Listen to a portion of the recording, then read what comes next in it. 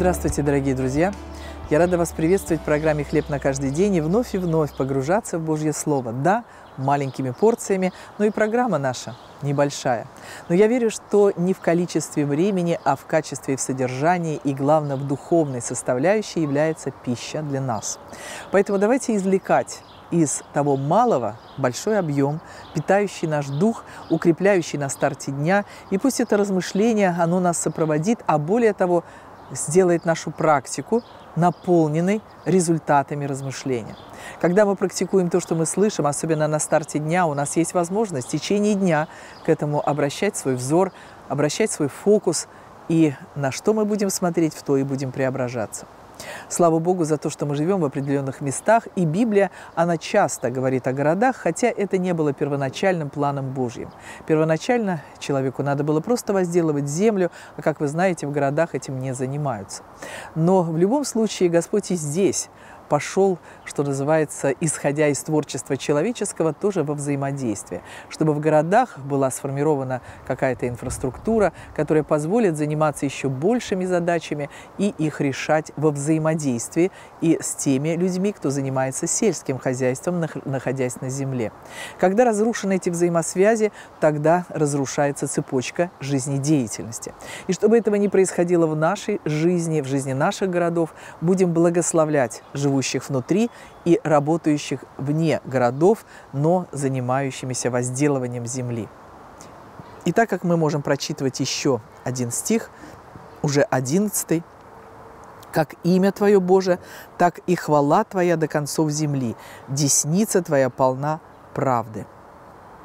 Как имя Твое, Боже. Какое имя? У Бога их много. И все Его имена, они наполняются теми гранями для нас, которые нам нужны в жизни. Имя Бога пусть светится. Мы знаем, что мы читаем это слово в молитве «Отче наш». «Отче наш, да, э, сущий на небесах, да светится имя Твое на земле, как и на небе, да будет воля Твоя». Сущий на небесах – это тот, который всегда на троне и всегда во власти. А у нас с вами есть необходимость с этим сущим, у которого много граней имен, знакомиться. Но знакомиться не в теории, а знакомиться на практике. В теории это важно стартовать. То есть мы сначала узнаем, что он Иегова Раффа, он целитель, у него есть еще и ангел исцеления, у него есть грань имени целителя, у него есть в Христе Иисусе раны, которые нам говорят о том, что ранами его мы исцелились, потому что немощи и болезни он взял на себя. И поэтому, когда мы читаем как имя Твое Божие, так и хвала Твоя. То есть, которое имя ты узнаешь, у тебя это вызывает следующую реакцию – благодарить Бога и прославить Его. Оказывается, ты такой удивительный целитель. Когда люди, идущие по этой земле, так много встречают болезни, и карточка их в поликлинике или в больнице только разрастается, но когда пришли ко Христу, есть возможность разобраться с этим досье.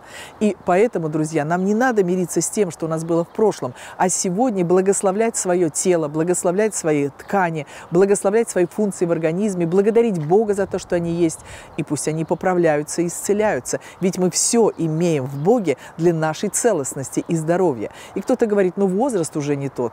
Вы знаете, есть э, у нас примеры и в церкви, когда возраст не говорит о том, что человек живет в болезнях, а наоборот благодарит Бога, что ни одной таблетки не пьет, а славит Бога за здоровье и целостность. Поэтому мы здесь можем и прочитывать, как имя Твое Твое, так и хвала Твоя. До концов земли десница Твоя полна правды. Поэтому рука Господня наполнена истиной и правдой. Будем из нее вычерпывать, как из Божьего достояния и наследства для нас. Небесный Отец, я благодарю Тебя, что мы можем благословлять наследство, которое мы получили через Христа, как доступ в небесах.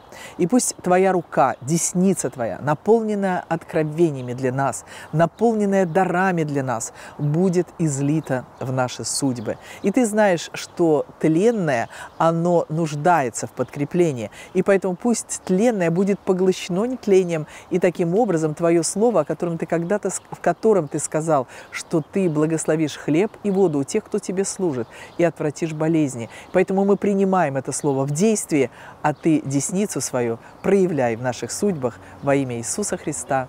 Аминь. Всего доброго, до новых встреч, до свидания.